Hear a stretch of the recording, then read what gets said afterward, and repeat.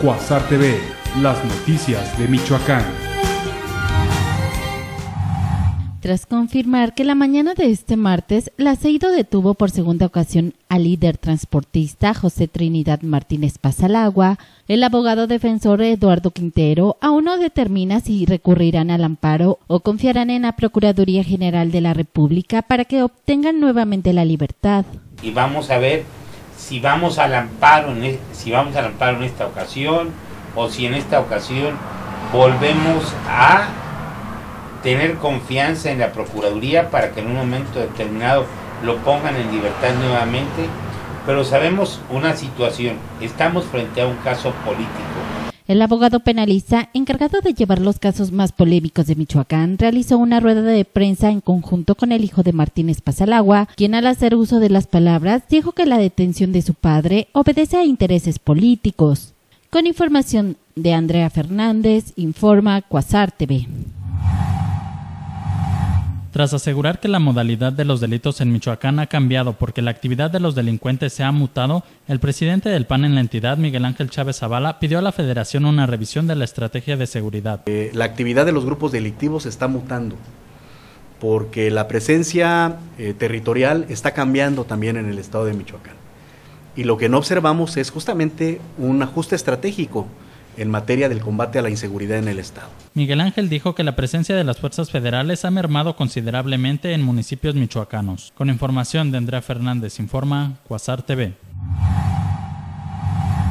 Tras manifestar que se sienten satisfechos con el punto obtenido el fin de semana pasada en su partido contra Toluca, jugadores de Monarca se preparan exhaustivamente para lograr los tres puntos en casa al enfrentar el próximo 25 de julio al Atlas. El punto del fin de semana creo que fue muy bueno, la verdad que el, equipo salió a proponer el partido, después de, la expulsión tuvimos que retroceder un poco para aguantar el marcador. La verdad muy motivados, muy, muy contentos por el resultado, creo que con 10 estuvo difícil, pero sacamos ahí un puntito. Algunos de los jugadores entrevistados mencionaron que su ventaja ante los demás equipos es que su club está conformado con jugadores jóvenes con mucha ambición de ganar. Con información de Andrea Fernández informa Cuasar TV. Jugadores de Monarcas Morelia coincidieron en señalar que todo lo que se hace o dice en los vestidores no debe salir del club deportivo luego de la polémica generada por Miguel El Piojo Herrera al ventilar una charla que sostuvo con el portero seleccionado Jesús Corona.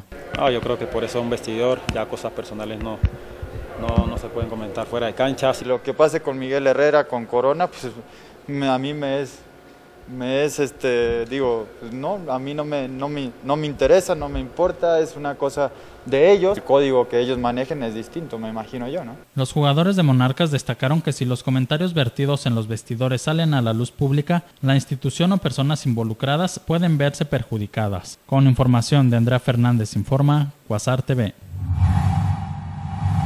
Denuncia el presidente del Comité Municipal del PAN en Hidalgo, Fernando González Suárez, irregularidades en las investigaciones del robo a sus oficinas por parte de la Procuraduría de Justicia del Estado. A la fecha no nos han entregado este, la denuncia y no han, hecho, no han ido a realizar la debida inspección. Se quedó de hacer la inspección el pasado viernes a las, 7 a, a las 6 de la tarde, no llegaron.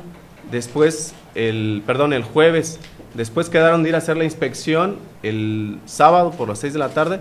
Tampoco se ha hecho. El robo a las oficinas del PAN en Hidalgo se registraron durante la madrugada del viernes 18. Se extrajeron artículos de valor aproximadamente de 15 mil pesos. Para Cuasar TV, Andrea Fernández.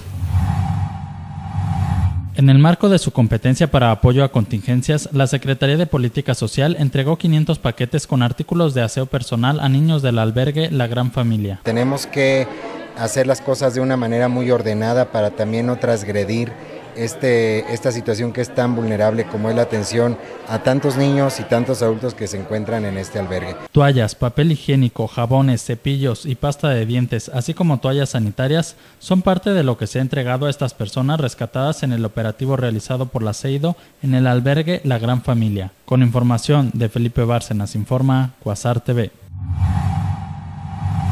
Con la finalidad de fomentar y actualizar las labores de gestión y promoción cultural entre docentes de educación básica, media y superior, se llevará a cabo en Morelia el Diplomado de Gestión Cultural para Instituciones Educativas. Es fomentar las actividades que se vinculen con el sistema educativo, que promuevan la formación de los michoacanos en los diferentes niveles y con una estrecha relación con las actividades culturales. Los docentes que deseen participar en este diplomado que se llevará a cabo del 15 de agosto al 15 de noviembre deberán contar con una experiencia mínima de tres años frente a grupo. El diplomado se impartirá simultáneamente en el Centro de Cooperación Regional para la Educación de Adultos en América Latina y el Caribe, en Pátzcuaro y la Universidad Autónoma de México, Campus Morelia, en donde se aceptará un total de 80 personas que trabajarán en la creación de un documental que evidencie su trabajo. Con información de Felipe Bárcenas informa Cuasar TV.